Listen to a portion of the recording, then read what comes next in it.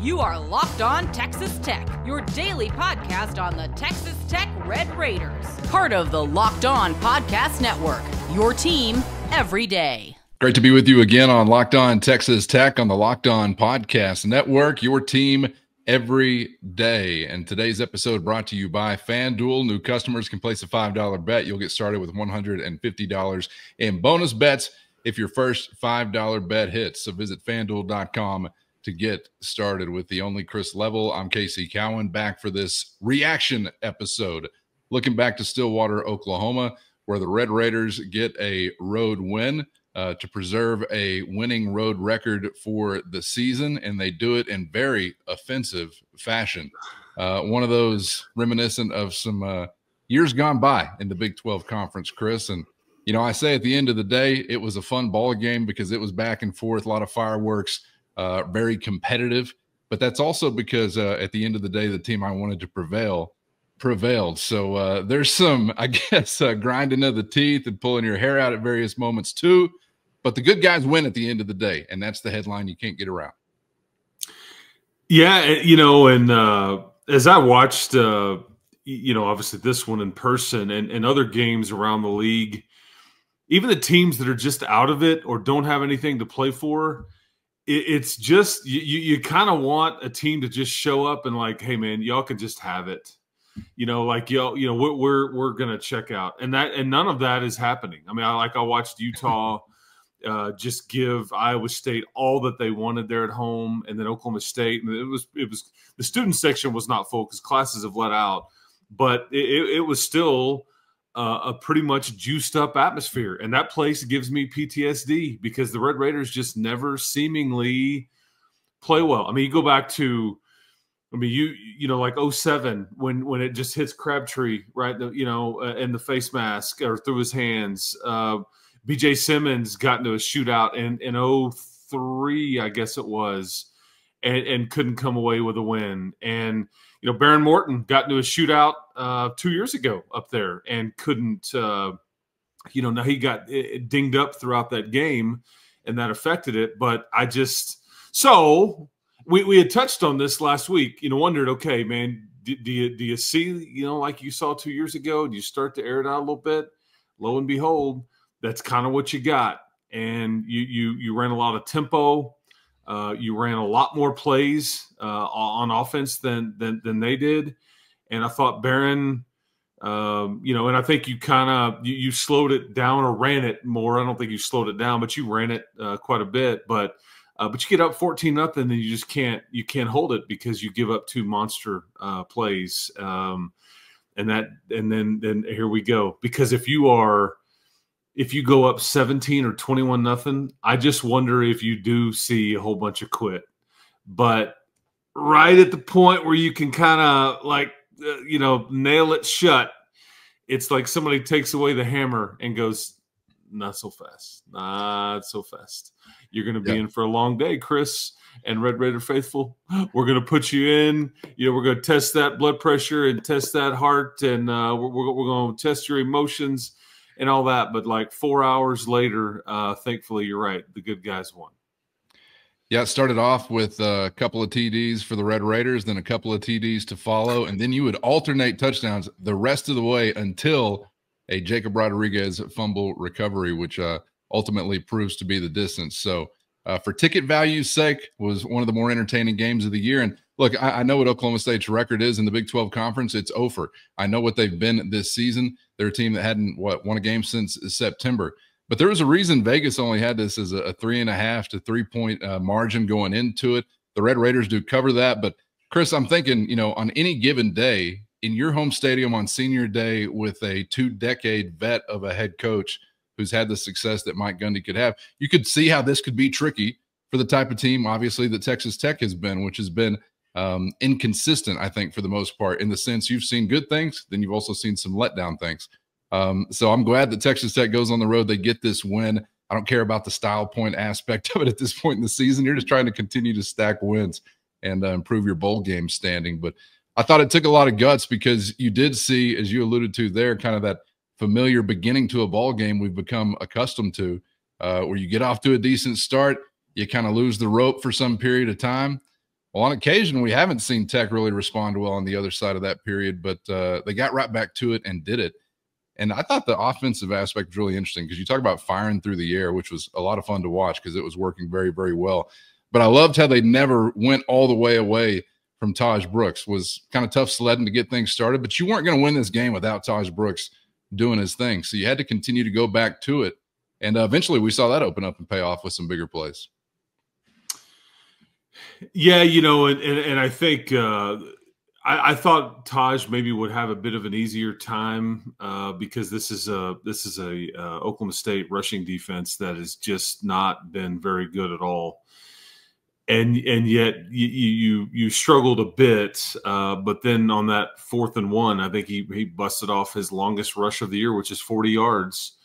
It was the same play that they called against Iowa State that that won it, and uh, that was the uh, Brooks Jalin Conyers high five on the way into the end zone, which is awesome. And then you got the whole, you know, like the, the thumbs down deal, which apparently I had not seen it, but apparently they were all doing it and they had gone to see uh, Gladiator 2 yeah. on Friday night. And I guess there's a mercy or no mercy. It's, it's like, the Joaquin Phoenix. I don't yeah. know who's doing it in the second one, but the original, yeah.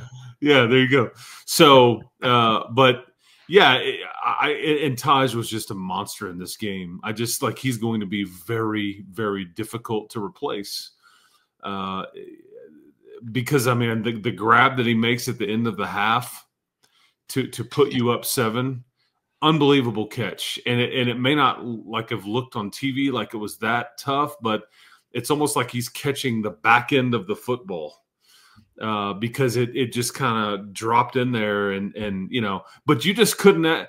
I mean, heck, Cowan, uh, you you couldn't stop him, and that was very disheartening. You couldn't stop him. So when I walked to the locker room with Joey McGuire, he said, "I'm just so frustrated." He says, "We get up 14 nothing, we get our fast start, and he goes and boom, long play, boom, long play, and and then you and he was excited about you go up." Um, you go up 21 14 and then what do you do right out of the locker room? It's like four plays, 90 something yards, and they're into the end zone again, tie game. It's like you just couldn't ever, but but there's something to say about you just never quit throwing punches.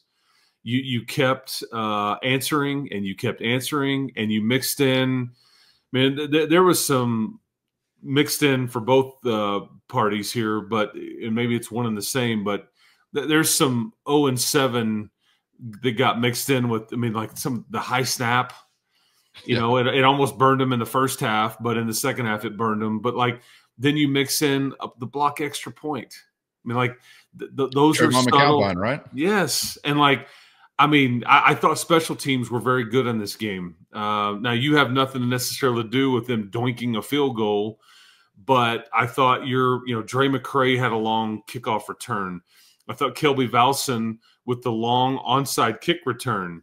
I thought your block extra point. Uh, I thought you you got decent punts when you needed decent punts, and there were some times at the end of the game when you needed, you, you know, you, you, needed that punt to have some hang time. I thought Stone Harrington, who kicked off for the first time all year, he did kick one out of bounds. And granted, he had lots of practice here, but for his first start since middle school, uh, I think he showed everybody a lot of leg strength and uh, Kenny Perry would tell you he's like Ebby Calvin LaLoosh and Bull Durham. It's like he could throw really hard, but I don't know where it's going. I just don't. And that this was Stone Harrington. So, uh, but for the most part, it went out of the back of the end zone, and that was uh, that was good stuff. But yeah, you you just did enough here to, to win it. And at the end of the day, you're right, man. I don't care how you, you, you figured out a way to get a result, and that's all that matters. And it's been very difficult for you and your program regardless of head coach, regardless of era, to win in that stadium. And mostly it's because Oklahoma State is usually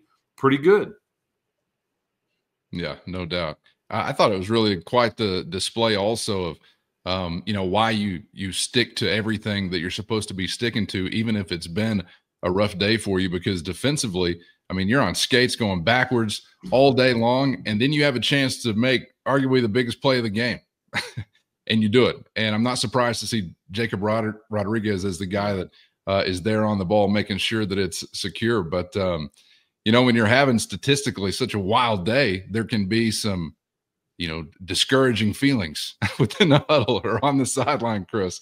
But if you don't stay locked in and giving great effort, then you, you may not be there to make um, what was one of the maybe top two or three winning plays uh, that you made on the day. So just you know a lot of perseverance, and uh, I know statistically it is not one that you're gonna want to uh, remember all that fondly, but you make a huge play when it's there to be made, and uh, so got to give them a pat on the back as well. But the the offensive display, man, was just it's been a while since I've seen one like that. And, um, you know, I think it was a great opportunity for Behren Morton to really have quite the day. And it was fun to watch him have that kind of day, right? Because we, we know what the path has been like. It's wild that in Stillwater, he really enjoys passing the football. I don't know what's going on there. But, uh, man, I, I think he deserved a day like that. And so it was a lot of fun to watch number two do what he did. Yeah, and I, th- I, think a lot of it has to do with the fact that typically Oklahoma State plays man to man coverage, and quarterbacks typically like that if you have good enough weapons on the outside because uh, you just you you attack it. And most most teams don't play just straight up man or man free.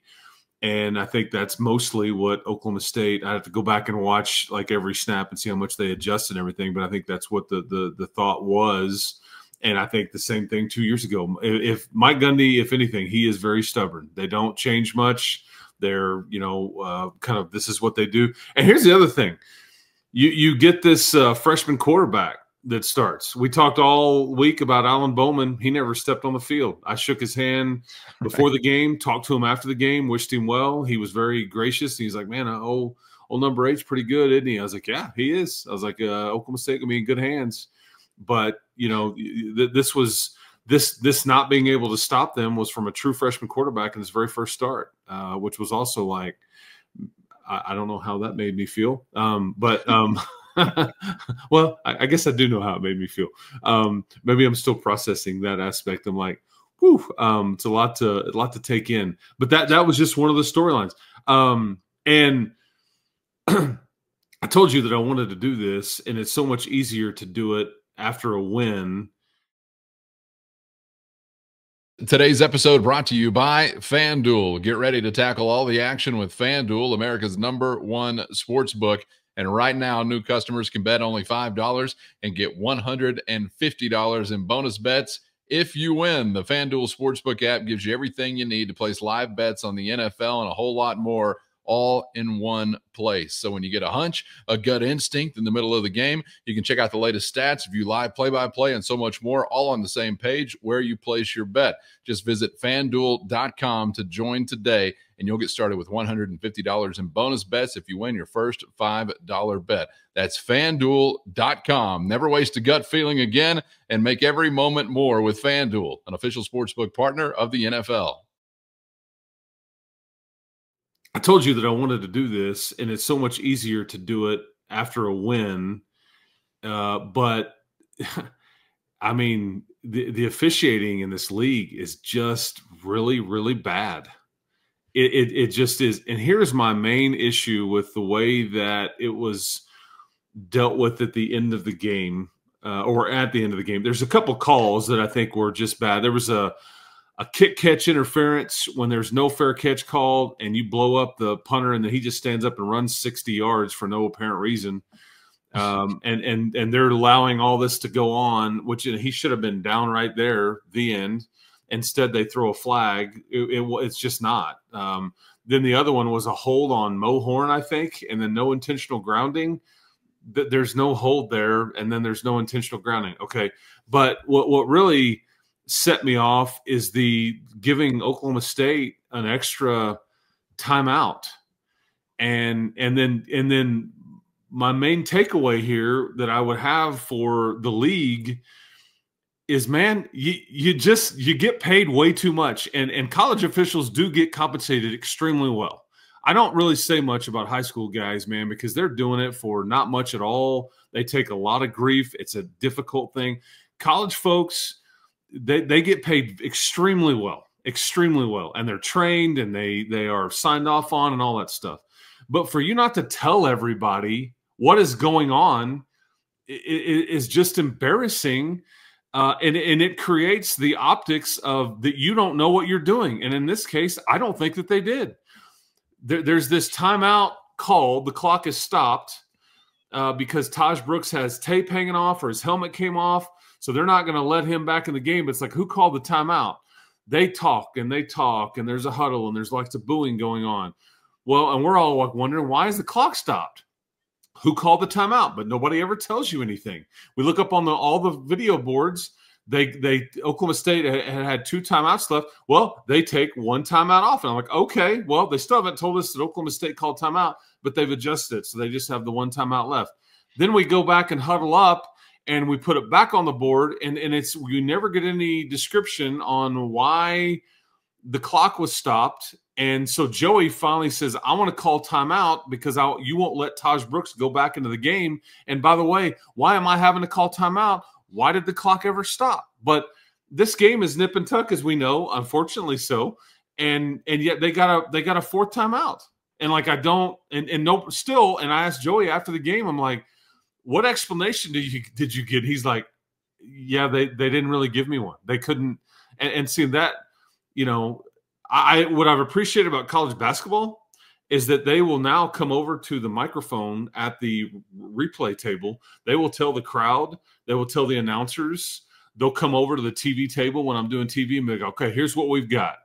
And why? And there's none of that here. And it's just unfortunate because there's a lot on these games, man, and a lot of people care. There's a lot of money flowing through this stuff. And the guys just got to be better. But just tell everybody what's going on is the main thing. Don't – don't shroud it in secrecy or hide from the moment. You're getting paid way too much money to. So anyway, there's my rant there. But uh, I'm glad Tech, Texas Tech overcame uh, the you know shenanigans there because it was. And and one more thing. Sorry, I thought I was done. When when, when a player throws a punch like Ollie Gordon did, not once but twice, that's got to be an ejection. I think that's in the rule book. I think yeah, you throw the flag, but when you throw a punch, man, you're you're gone and yet he's allowed to come back in the game and like have an effect on the game. And I, I had an issue with that too, all because uh, he didn't like it that Jacob Rodriguez recovered the fumble in the end zone on his senior day, and he's not even a senior. You know, suck it up, zero. Have you know, like like let let's let's hone in the emotions there. You're not going to do that in the NFL, or you will get dealt with. Now, they will deal with you from the league wide, and some veteran on your team is going to go handle you in the locker room and tell you, "Yeah, we don't do that here. This is a big boy league, but it shouldn't be allowed in Big Twelve football either." Okay, sorry, I'm done. Yeah, that was a little surprising that that was just kind of uh, passed by and yeah, okay, he's still in the game. Uh, whatever.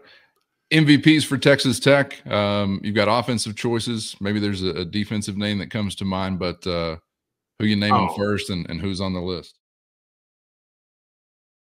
First, today's episode brought to you by Gametime. Never sweat buying tickets to your favorite event again with Gametime. It's always a breeze using the Gametime app where you're going to find the best last minute deals. And I love being able to scout out a view from any seat before pulling the trigger. Of course, you're always doing it at the lowest price guaranteed. Gametime has deals on tickets right up to the start of the event and even an hour after it begins, which means you can finish off that final brat that final beer at your own pace at the tailgate because Gametime is the place to find last minute seats to any event. Gametime gives you the fastest and easiest way to buy tickets, but not just fast, also secure and simple to use. So right now, download the Gametime app and create an account and use our promo code Locked On College for $20 off your first purchase. Terms do apply. Again, create an account and redeem our code Locked On College for $20 off. Download the Gametime app today for last minute tickets at the lowest price, guaranteed. MVPs for Texas Tech. Um, you've got offensive choices. Maybe there's a, a, defensive name that comes to mind, but uh, who you name oh. first and, and who's on the list? Oh, th- th- this is Taj and, and Jacob. I mean, and, and what what are you going to do when these guys aren't here? Because and I and I thought Behren played really well. Um, I thought the the the you ended up having to do it again, but I thought the quarterback draw on third and 11 by Behren Morton at the very end of the game when you're trying to just bleed the clock and get, get first downs. I thought I was like big, giant, hairy. Yes. Um, and I, I, I was, uh, who's are we talking about? Where was that called? Is there any chance it's on the field or is that from the sideline? Oh no, that was, uh, that was called from the sideline. I think, you know, told, you know, Hey, look, look for this and then and then just kind of you know he made a play. Uh, but um, I, uh, I I appreciated that. But back to I don't want to bury the lead. Back to Taj. I just thought he was, you know, like 200 all-purpose yards his first first time his career when he's got four touchdowns, and his yards per carry are somewhat modest. I mean, other folks around the league had had plenty more, but it was when he made these plays. It was the the moments, and we all know, and we're seeing it. You're not great you you're plenty flawed. Now you're beat up. You you you know he, he's just making a lot uh, out of nothing at times, making great plays and grinding away. He's been so durable, all the stuff, and I just think he deserves a lot of credit here. But man, is he going to be tough to replace um, because he he's a margin for error guy. He he widens your margin for error on these games, and I thought Jacob Rodriguez. I mean, you hate to say it like this, but man, you're you're not that you are, but you've played very average in a lot of spots on defense, except for the, the spot that Jacob's playing, because he continues to show up in the stat sheet and he continues to make meaningful plays. And it's not just the interception. It's um, you know, he had the 13 tackles. He was the one that recovers the the the high snap, and it just seems like he just has a nose full of football, man um, and and he you know he even suplexed the guy, which uh, elicited some reaction from the uh, the Stillwater faithful. And hey, man, what do you want him to do? So some style points on top. I'd like to hear that. Could he could have um, he could have DDT'd the guy like Jake the Snake Roberts back in the day, but instead he uh, he just went uh, with a nice clean suplex, which is not a finishing maneuver. Okay, it's just a in the middle of the match type type maneuver here, but he got it done. I think when we talk about guys who have a nose for the ball or uh, they're ball hawks or whatever, it just always starts with great effort. And obviously, he plays with that. Oh, yeah. Puts himself in a position to be around again. Like I said earlier, when those plays are there to be made, and uh, it was cool to see him have that big moment to help get the win. Um, otherwise, offensively, you know, the pass catchers, um, Caleb Douglas, Coy Eakin, Jalin Conyers, our guy Mason Tharp uh, gets into the end zone. So there were several having a lot of fun uh, in the passing game.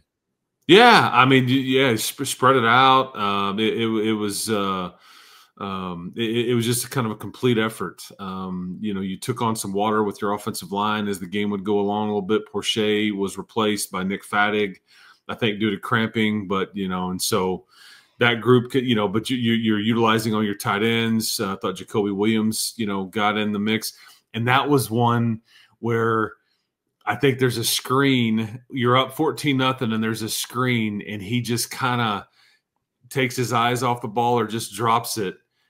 And he had a ways to run, and I that's the that's kind of the the the part where it could have teetered to where you could have ended it uh, if he takes that and goes you know 20 yards. But it's a drop.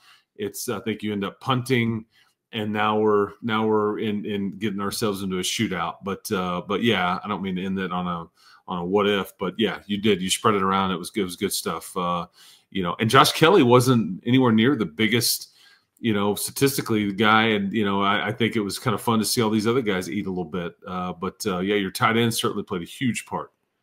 It was kind of the culmination of, of some of those offensive trends all year long, where you'd have some of these other guys who are uh, not Josh Kelly or Taj Brooks um, you know, with more and more opportunity to make some plays. And so you got to kind of see them all on display, whether it's Douglas or Eakin or uh, Jalin Conyers also. So it's just a lot of fun to watch. And uh, again, it ends with the right result. So uh, we even double up even more so on the fun. And it keeps some things in play that we'll be talking about as we uh, kick off the week on the next edition of Locked On Texas Tech. So, Chris, appreciate the time as always, man. Enjoyed it and looking forward to that.